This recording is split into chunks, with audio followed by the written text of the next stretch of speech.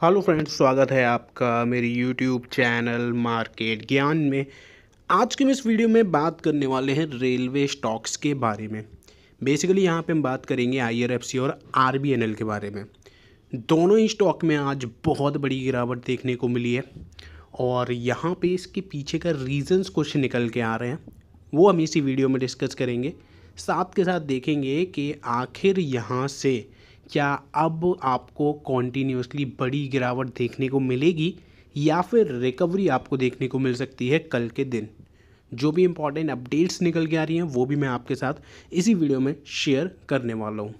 तो मेरे से आपसे बस यही रिक्वेस्ट है कि वीडियो को ज़्यादा से ज़्यादा लाइक करिए सो डैट ज़्यादा से ज़्यादा लोगों तक ये इन्फॉर्मेशन पहुँच पाए। और अगर आप चैनल पर फ़र्स्ट टाइम विज़िट कर रहे हो तो प्लीज़ चैनल को सब्सक्राइब ज़रूर कर लीजिएगा और बेल आइकन प्रेस ज़रूर कर लीजिएगा सो डैट आपको वीडियोस की नोटिफिकेशन टाइमली मिलती रहे। अब देखो, यहाँ पे सबसे पहले बात कर लेते हैं आज के दिन के मार्केट के बारे में। मार्केट में अगर आप देखोगे, आज बहुत बड़ी गिरावट हुई। सेंसेक्स लगभग एक हज़ार पॉइंट से भी ज़्यादा की गिरावट दिखाते हुए नज़र आया। निफ्टी फिफ्टी में तीन सौ पॉइंट से ज़्यादा की गिरावट थी। निफ्टी बैंक में आपको हज़ार पॉइंट से ज़्यादा की गिरावट है और निफ्टी मिड कैप आज बहुत ज़्यादा परसेंटेज के साथ गिरते हुए नज़र आया लगभग पंद्रह सौ पॉइंट्स की गिरावट मिड कैप में आपको देखने को मिली है। ओवरऑल मार्केट में आज बहुत बड़ा करेक्शन देखने को मिला है। वहीं बोरोसिल करोना वैश सिप्ला, पेट्रोनेट, एलएनजी आज के दिन के टॉप गेनर थे। साढ़े पाँच परसेंट से लेके साढ़े ग्यारह परसेंट तक का अपसाइड मूवमेंट इन स्टॉक्स में देखने को मिला। निफ्टी फिफ्टी के टॉप गेनर भी बनते हुए नज़र आए हैं।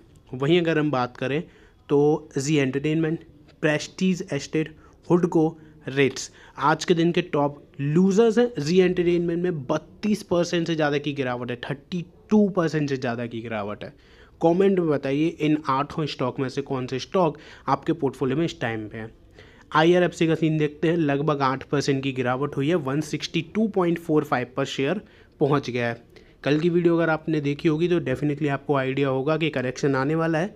उसके पीछे के कुछ बेसिक जो चीज़ें हम लोगों ने डिस्कस करी थी, जिसमें आरएसआई एक मेन फैक्टर था और आर एस से ज़्यादा पहुँच गया था। तो बहुत ही ज़्यादा हाईलाइट करके इन चीज़ों पर मैंने बात करी थी प्रीवियस वीडियो में। तो उसके हिसाब से अगर आप देखते हो तो आज 192 का हाई बना था 192 का। फिर उसमें गिरावट हुई है। बत्तीस करोड़ का वॉल्यूम आया है थर्टी टू करोड़ का वॉल्यूम है। कल ग्यारह करोड़ का वॉल्यूम था, यानी कि लास्ट ट्रेडिंग डे पे, और वीकली एवरेज है थर्टी फाइव करोड़ का मंथली है, अट्ठारह। यानी कि मंथली एवरेज को तो आज यहाँ पे बीट किया है, लेकिन वीकली एवरेज से अभी भी थोड़ा सा वॉल्यूम कम है, लेकिन ओवरऑल वॉल्यूम काफ़ी ज़्यादा अच्छा देखने को मिल रहा है। वहीं अगर हम यहाँ पे बात करते हैं कि आखिर हुआ क्या तो आप देखो, रेलवे स्टॉक्स पर अचानक लगा break I R F C R B N L और आई एस सी टी सी के शेयर्स में भारी गिरावट। यानी कि अगर आप यहाँ पर देखोगे तो आज के दिन इतनी बड़ी गिरावट हुई कि लोग इतनी बड़ी गिरावट एक्सपेक्ट नहीं कर रहे थे, लेकिन बेसिक जो चीज़ें थी, जैसे कि आरएसआई यानी कि टेक्निकल फैक्टर्स प्रॉफिट बुकिंग ये सारी चीज़ें इम्पैक्ट करती ही हैं शेयर के प्राइस को, और ये मैं हमेशा अपनी वीडियोस में आपको बताते रहता हूँ। रेलवे सेक्टर्स के शेयरों में तूफानी तेज़ी पर अब ब्रेक लग चुका है। आईआरएफसी और आरबीएनएल समेत बाकी शेयर में भी बड़ी गिरावट देखने को मिली है। आई का शेयर भी हज़ार रुपये प्रति शेयर से नीचे आ चुका है। आई का शेयर भी अगर आप देखोगे तो 957 पर कारोबार कर रहा था। वहीं आईआरएफसी का हम लोगों ने ऑलरेडी डिस्कस किया है कि लगभग सात आठ परसेंट की जो गिरावट है वो आज के दिन आपको देखने को मिली है। अब इस रिपोर्ट में आगे बढ़ते हैं तो आपको यहाँ पे पता चलेगा कि रेल निगम के शेयर आज यहाँ पर साढ़े आठ परसेंट से गिरा टू थर्टी नाइन पर पहुँच गया। रेलटेल का शेयर ग्यारह परसेंट गिरा। टीटागढ़ रेलवे सिस्टम का सेवन परसेंट इसके अलावा रेलवे सेक्टर का शेयर टैक्स माको जो भी है, वो यहाँ पे आपको सात परसेंट से गिरते हुए नज़र आया। इरकॉन इंटरनेशनल बारह परसेंट से गिरा। यानी कि ओवरऑल ऐसा नहीं है कि केवल आईआरएफसी में गिरावट आई हो ओवरऑल रेलवे के सारे ही स्टॉक में बड़ी गिरावट देखने को मिली है। यहाँ पर आप देखो I S C T C I R F C और आर बी एन एल पिछले कुछ सेशन में हर दिन fifty two week high level touch कर रहे थे। इसने निवेशकों के कुछ ही दिनों में पैसे डबल ट्रिपल बनाए।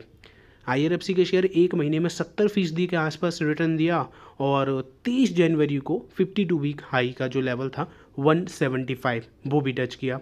वहीं आई एस सी टी सी के शेयर्स एक महीने में दस फ़ीसदी का रिटर्न दे चुके हैं। यानी कि रुका हुआ शेयर था आई उसमें भी आपको तेज़ी देखने को मिल गई थी।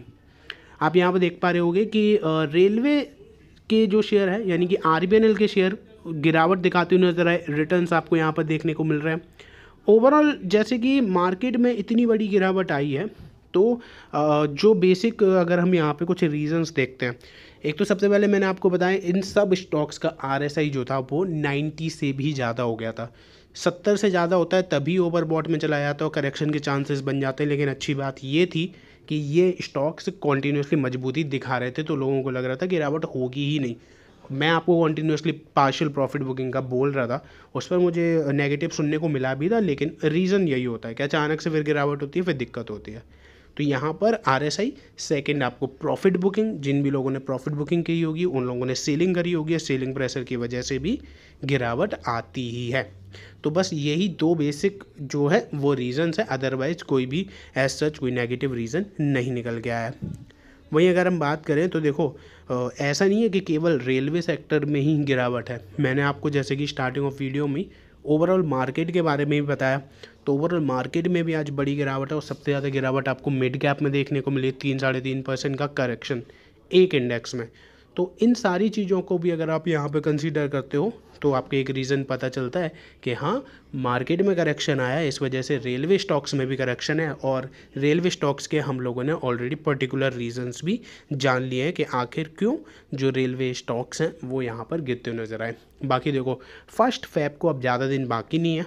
यूनियन बजट आने वाला है। एक्सपेक्टेशंस बहुत ज़्यादा हाई हैं और अगर एक्सपेक्टेशंस के अकॉर्डिंग बजट आ जाता है तो डेफिनेटली चीज़ें बहुत ज़्यादा इम्प्रेसिव बन जाएँगी। जो गिरावट देखने को मिल रही सारी रिकवरी जो है वो होगी, लेकिन उससे भी एडिशनल अल्फ़ा जो है वो यहाँ पर जनरेट होते हुए नज़र आएगा।